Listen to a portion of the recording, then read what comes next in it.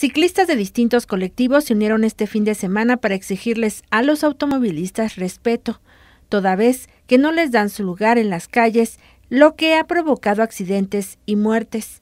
Oscar Soto Telles, del comité organizador, dijo que el enemigo número uno para ellos es el automovilista, pues no lo respetan ni siquiera en los espacios exclusivos o de preferencia para el ciclista.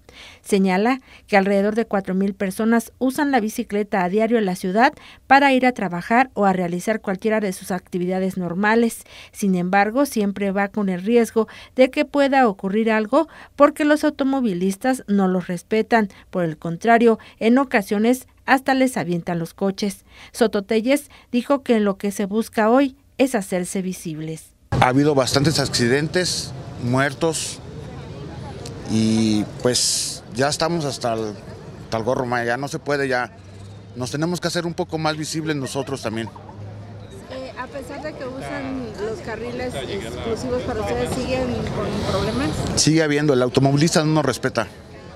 Entonces, este evento es de varios colectivos, no es solamente uno, son varios colectivos los que estamos unidos aquí, comunión de ciclistas, este, pues queremos hacernos visibles ante el automovilista. Fueron alrededor de 200 ciclistas los que estuvieron en la rodada que abarcó todo el primer cuadro de la ciudad, terminando en el Jardín Guerrero.